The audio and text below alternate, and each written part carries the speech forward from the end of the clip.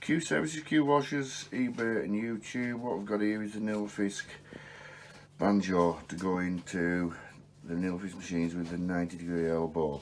Quarter inch BSP this end, cone shaped thing.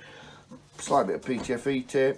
When you fix it together, just be careful because this is a brass fitting so it doesn't rust and corrode. Obviously a drift, drift through the middle. More tape than better, then you don't damage it and squash it all by doing it too tight. And like I say, so this is a brass fitting. And this is for the Nilfisk pressure washer. Thank you very much, Q Service, Q Washers, eBay and YouTube.